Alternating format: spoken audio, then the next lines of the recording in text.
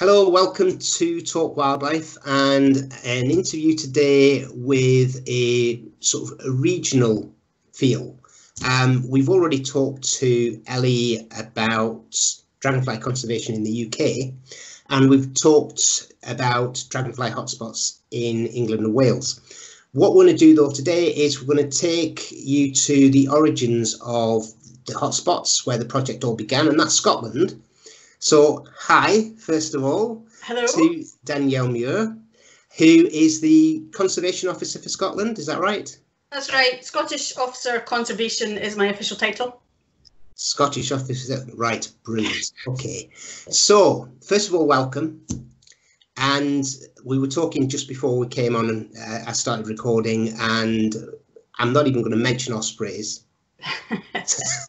so, right, so first of all, I think what we'll do is if we introduce yourself and just just give us a little bit of background to what you do up there, okay. and then we'll talk a little bit more general about sort of conservation of, of dragonflies in Scotland. Okay. Well, my name's Daniele Muir. Um, I'm, as you said, I'm the Scotland Officer Dragon uh, Conservation. I'll say that again. Are you? you're the Scotland Conservation. Are you the whole of Scotland or just part of it? You're, you are the Scotland Officer for Conservation in Scotland. That's right. I'm the Scotland Officer for Conservation in Scotland. So basically, my my remit. Um, I started for the I started working for the BDS in um, 2013, and at the time I was working as um, a ranger part time, and um, I just finished working on a swift conservation project and the the BDS Scotland officer job came up, which looked perfect for for my skills. So um, I was really excited to start working in 2013, and um, at the beginning of the of the post, um, I was to set up um, a series of dragonfly hotspots, but the the job has sort of morphed. It's changed a bit as as time goes on. So now I work on the dragonfly hotspots I work on the Dragonfly key or priority sites, which are sites that have rare species on them, um, and uh, working with the landowners to help them manage their sites for the benefit of these rare dragonflies. Right, okay, and we'll come to sort of rare species in a minute because we'll, we'll, start off sort of from a, a, a sort of, if you like, a macro perspective. Dragonflies in Scotland, um, how are they doing? You know, what what overall, mm-hmm. you know, what's sort of the status of the dragonfly? Are they doing okay? Yeah, well, they're, generally speaking, dragonflies in Scotland are doing all right. Um, we have 23 breeding species of dragonfly in Scotland, including three that are only found in Scotland in the in within the UK. So they're quite quite special species. But we do have many species that are coming from the south. And if you look at it, an atlas, um, like the, B the BDS produced a, a, wonderful atlas in 2014. If you look at, of course, you love that. Yeah. So if you look at the range of lots of species of dragonfly in the 2014 atlas, and then you look at an, an atlas, let's say from 20 years before that, it's amazing how um, how many species have managed to push their way north with with climate change. So that obviously we're, we're having warmer winters. Mm -hmm. um, and the, the larvae are managing to survive over over winter, whereas when we had very cold winters, then the, the larvae uh, probably would have been killed off. So so we're, we're getting more dragonflies coming to Scotland, but um, probably the, the biggest risk to our dragonflies at the moment is is climate change. So the other side of the climate change page is um, dragonfly habitats will be getting uh, drier as, as temperatures get hotter and certainly our, some of our rare species, such as the azure hawker and the, the northern emerald, which are two of the ones that are found in Scotland, and also the northern damselfly, they're found in um, sort of relatively shallow um, habitats, which will probably dry out more and more as, as time goes on. Um, so I think the, the picture for dragonflies in a more in more general terms in Scotland is that we're going to be having more species over time, but uh, the more um, specialised species, I think, I suspect that they're not going to be doing so well um, as time goes on. Right, and we'll we'll talk about them three in a second. Um, but because you said, uh, you know, dragonflies are spreading north, and, we're, we're, seeing that. We're seeing that with birds as well. You know, it's what sort of what's the most sort of recent new species recorded in Scotland?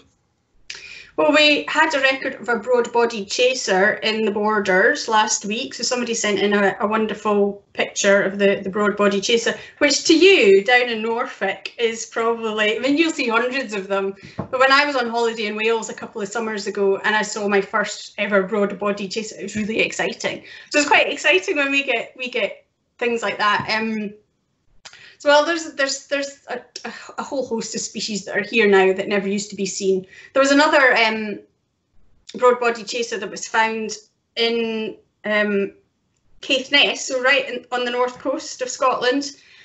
Uh, uh, one was found in a garden centre, so I suspect that that might have been brought in with some maybe some pond vegetation if it had been um, taken taken to Caithness to be sold there since you've mentioned Broadbody Chaser, and clearly, you know, I will see them every season down here, and you have to scrabble around for them up there because they're only just arriving up there. It's only fair to talk about the three species that I won't find here, um, and that you can nip out and see every season. Um, and that's obviously the the two northern, so the northern damselfly, the northern emerald, and the azure hawker. So you, you mentioned sort of from a conservation point of view that these could be in trouble. Mm-hmm. So, from your point of view, which of those three or all of them, you know, which ones, which one's the most in trouble out of those three? Um, it's quite difficult to say which would be the, the most in trouble. Certainly, the Azure Hawker and the Northern Emerald, they they both use shallow shallow areas on peatlands. So um, we had an absolutely wonderful survey of uh, uh, Corrour Estate, which is on Rannoch Moor. It's only accessible by train. Um, it's absolutely wonderful location for the Azure Hawker. And last September, in fact, the previous two Septembers, Pat, who's the, the Scottish recorder, she covers pretty much the whole of Scotland, checking records and and and recording. She's absolutely amazing. Uh, we went there to do a, a, survey at at Corrour, and the previous year we'd been there, and it had been very cold and wet. Um, it, it, this was at the end of September, and I think in a whole day's surveying between the two of us, we found three three larvae. So actually, when it comes to surveying for dragonflies, doing larval surveys easier. You get a better idea of the numbers than than than counting the counting the adults, because the adults can be you know away somewhere else feeding, whereas the larvae are there in, in the water body. So if you want to get an accurate idea of how many you have in breeding, then that's a good way to do it. Yeah. Last year we were there on a sunny day. Well, it was a sun. We were there for two days, two of us on the first day, and we had um, somebody from Corrour Estate on the third day. We did some training for him, and and he took part in the surveys. We found over 200 larvae over the space of two days. So, and generally speaking, uh, azure hawkers, they're they're they're quite rare. They're you, you generally only find a few per per water body. Um, so that is an absolutely wonderful sight. But the ponds, the pools in which we were finding them, they're shallow. They will be subject to, in a dry summer or dry spring like we've had today this year. Um, I would imagine a lot of those uh, water bodies will have dried up. Um, hopefully the larvae will be able to get down into where it's still wet at, at the bottom of the pools, but I suspect some of them will die. It's very similar with the, the Northern Emerald because that, that uses, again, shallow sphagnum-filled bog pools or little runnels um, so it will be subject to the same sort of um, same sort of drying out conditions. Um, the northern damselfly, which has it has a different habitat, so it has it uses sort of sedge fringed pools. Um, we have an excellent site not far from me, just south of Pitlochry um, at Logierait Curling Pond. And, um, and you'll know this yourself, but unless a water body is managed, then over time, vegetation will fill in. Um, eventually, it may take decades or it may just take a few years. Then um, it, the vegetation fills in, and quite often there's no open water left. So That's probably what's affecting um, northern damselflies here in Scotland.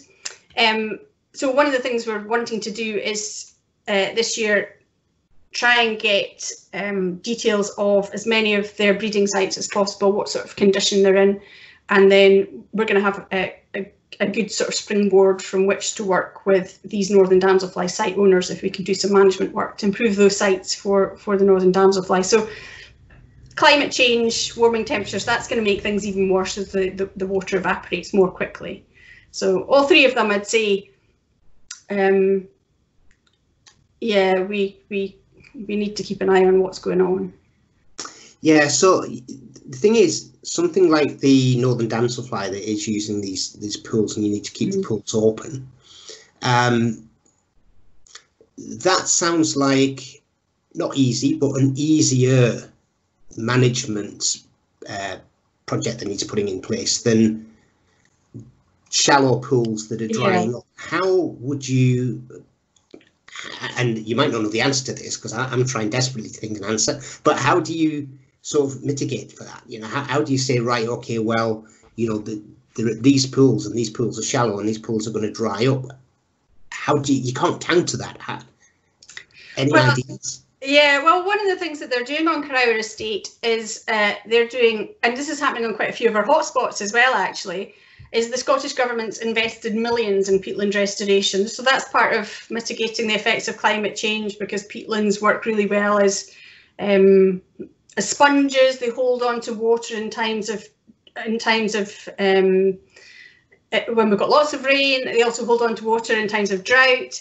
Um, and it's a great carbon uh, carbon sink as well. So, um, so at Corrour, there's been lots of peatland restoration going on. So that involves blocking blocking ditches, which would have been put in maybe 50 years ago or after the Second World War, when there was this big push on on putting in uh, forestry on Highland estates. Um, and quite quite often they were planted on peat, so they had to drain the peat, so they put in all lots of ditches. So having peatland restoration going on at a, lot of different places here in Scotland is is great for dragonflies. Um, another thing we can do is uh, actually dig ponds um, close to ponds that are probably going to be drying up, so we can get in there with a mini digger, or uh, on our hotspots we do this with volunteers. Um, yeah. The dog's always going to be saying something about that. Um, uh, He's volunteering. Um, so yes, so you, you can you can do something, but again, it's quite a lot of work, and you need to work quite closely with the with the land manager. So certainly our hotspot in uh, Flanders Moss, which is on a peatland, they've been doing lots of peatland restoration. A fantastic spot for dragonflies, obviously it being a hotspot.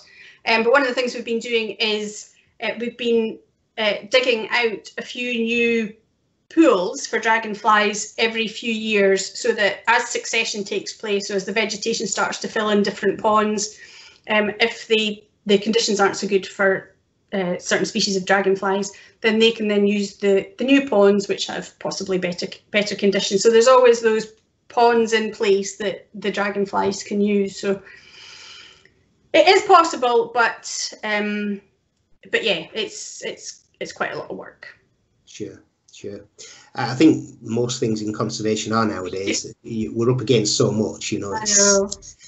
Um, so you mentioned the hotspots, and it, you know that that's what we're going to talk about. Hotspots is, I mean, you know, hotspots started in Scotland, and was that mm-hmm. was in 2014. So yeah. it was around about the time, just after the time you started.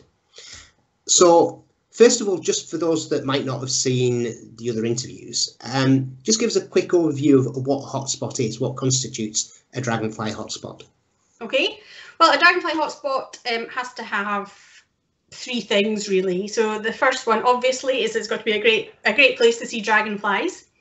Secondly, it has to have fairly easy access around the site so that people can get to these locations to see the dragonflies and thirdly, it has to have um, sort of the potential for involving people in dragonfly conservation or um, they're, they're fantastic hubs for for engaging engaging with people and helping them learn about dragonflies. So we've done all sorts of things at our dragonfly hotspots here in Scotland from um, teacher training courses for teachers at Crombie Country Park, which was our first our first dragonfly hotspot.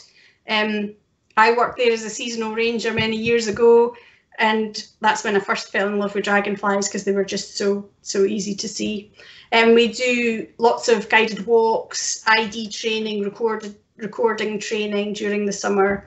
And in the autumn, we sort of switch over to doing volunteer tasks at our at the pond. So we help to manage the ponds so that they're in good condition for for the dragonflies. And again, it's a great pond management days are great fun. They're always very very muddy, but but really good. You can see you know the before and afters. You can see how much work you can achieve in a fairly short length of time, and it helps to keep on top of these ponds for for for the benefit of the dragonflies.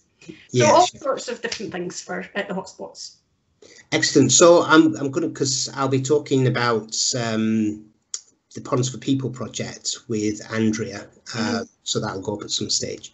Um, but just sort of stepping back, which was the first hotspot, and where did the idea come from? Who, who came up with the idea of yeah, let's let's start up a network of of hotspots? Yeah. Well, the first the first hotspot was at Crombie Country Park in Angus, so that's quite close to Carnoustie. Um, and the idea, I think, it, I think the trustees of the BDS came up with the idea for for hotspots, and it is an absolutely fantastic idea. It is, yeah. I mean, you know, certainly a lot of what you mentioned there, because it, it's to me, it's ticking quite a few boxes. It's ticking an the obvious one, which is the conservation of sort of dragonflies. Yeah. Obviously, um, but it's also sort of ticking the sort of not just the community engagement element, but also the education element. Uh, which is quite key because you know we need people to be educated about these things if they're going to care about them. Um, so from that point of view, you know it, it's it's really good. So successful? How, how's it how's it gone to date? They have been, yeah, they've been brilliant. Um, some hotspots are better than others, of course. That's that's always going to be the case. But we've got ten hotspots from Scotstown Moor in the north um, at Aberdeen, and that's run by the Aberdeen City Ranger Service, down to um, Caerlaverock Wetland Centre in Dumfries and Galloway, so sort of other ends, the opposite end of the country. Um, and the, the, the, depending on the staff, depending on the resources, how many people there are, and so on, their, their, their knowledge levels and so on. Um, sometimes the BDS will go out and do do the events. Uh, sometimes the staff will, will run the will run the events and do the volunteer tasks. So um, let's say uh, the the rangers at Scotstown Moor, they do dragonfly walks. They have dragonfly engagement events. They do dragonfly volunteer tasks. So that's fantastic. That that runs by itself, and they they have lots of volunteers that, that can come along and take part, and there'll be other people that don't really know much about dragonflies that will come along and take part. Yeah. Um.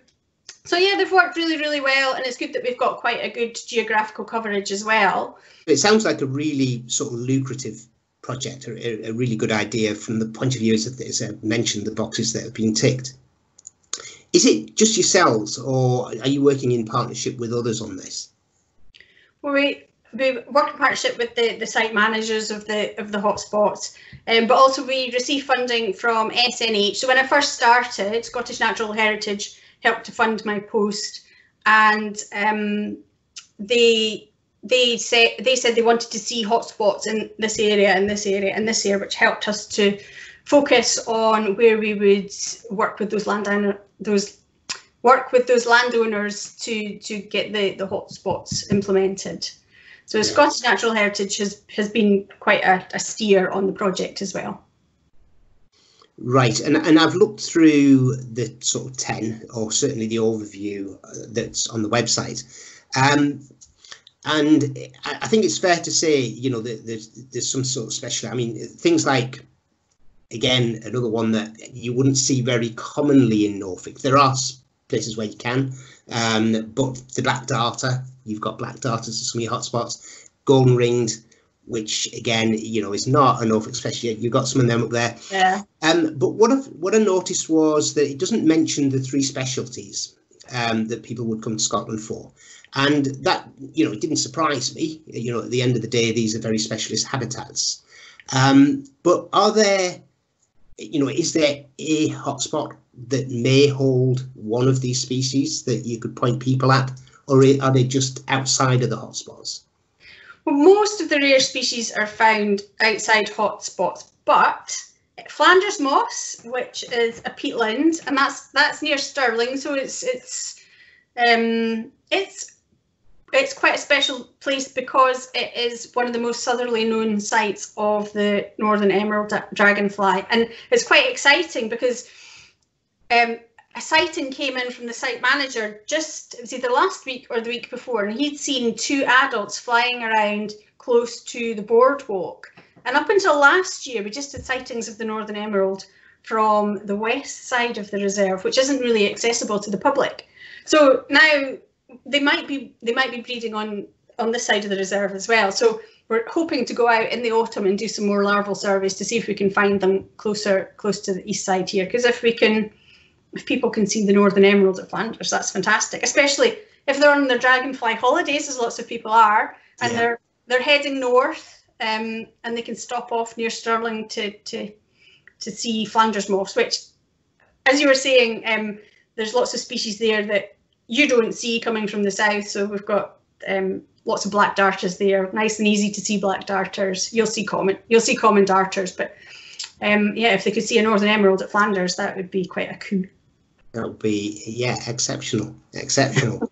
um, mental note to self.